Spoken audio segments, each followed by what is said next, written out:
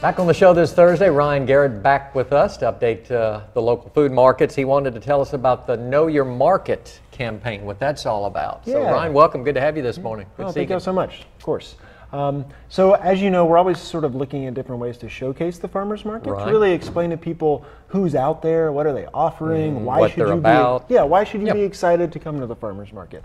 Um, and so our new way of doing that next week is going to be a Know Your Market video series. Mm-hmm. Uh, yeah, so once once a day, every single week, starting on Monday, because Monday, October 24th is Food Day, National Food Day. So starting on Monday, every single day, we're going to do a Mm-hmm. When video. This? So this I- right here is actually Stacy Johnson from Rise Breads and Pies, and she makes so many things from scratch. She makes her own butter from scratch That's it. that she uses in all of her pies and all of her cannolis Uh-huh. and everything that she That would makes. explain it. Oh, that would explain how good it is. And so she's going to have videos of her sort of doing what she does right before market. Some of our farmers planting, growing. Uh, this right here is Jackie Harrison, who's uh, Oma's handcrafted soaps. Mm-hmm. Uh, one time she made squash soap for us, Hmm. Um, and that was soap. essentially her process. So she's going to show us some of her soap making process and like strategies and techniques. Some of our farmers uh, will be showing us how they grow, how they plant, how they keep those plants alive, how they harvest, all that sort of stuff. So it's like it's this behind the scenes look. Oh yeah, this right here is Anna, one of our other bread makers for our mm-hmm. tomato event a few months ago. That she looks made us delicious. this yeah, the sunrise tomato bread. So not only are you going to get to eat these things now, but you're going to kind of see like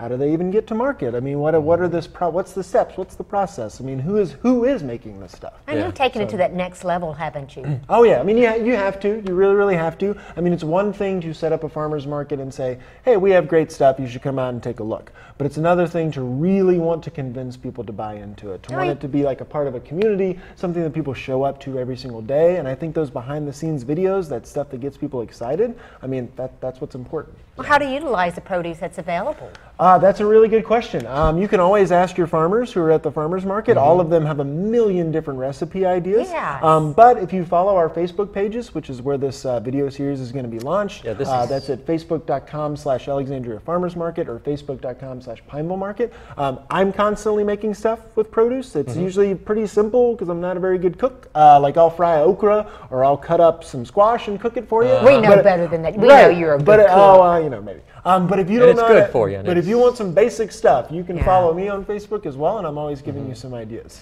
This Wonderful. campaign really connected to social media.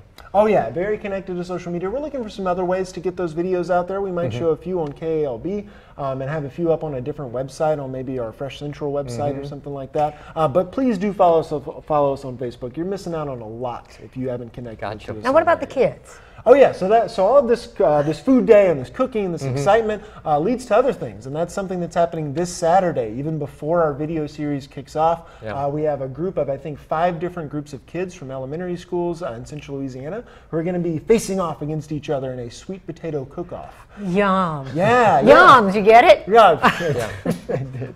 Um, so at Inglewood Harvest Barn Market, which we all know is uh, nine to one every Saturday, Mm-hmm. uh, but this Saturday, starting at ten thirty, we have some kids showing up, and they've brainstormed beforehand with their teachers, and they have some ideas of what they're going to do. But they're going to show up with their own recipes, and essentially have a bunch of people from out of town judging, and Yeah. we're going to choose a winner right there. I'm going to be emceeing the event, so it'll make it even better. Oh, you Yeah, get to taste go. everything. Yeah. Oh, yeah. I mean, I'm, I'm not a, Lucky I'm not a judge, but I'll get whatever the judges don't eat after or something. It's fine. What time will all that begin? So that's nine to one is the market, but the cook-off is uh, ten thirty to eleven fifteen. All right, Ryan, know your market. And that Check out of- that video series next week and come see that cook-off this weekend. There you go.